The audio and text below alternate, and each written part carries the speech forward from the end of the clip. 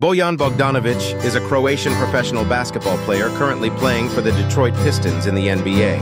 He was born on April 18, 1989, in Mostar, Bosnia and Herzegovina, and primarily plays as a small forward. Bogdanovic has had a successful career, having played for various teams in the NBA,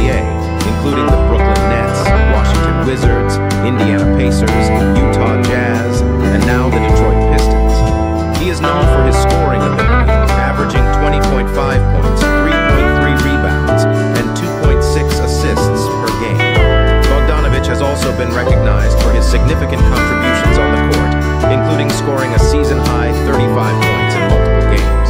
In 2019, he signed a substantial contract with the Utah Jazz, making him one of the highest-earning Croatian players in the NBA. His Instagram account is at 44bojan, and he is also active on Twitter with the handle at 44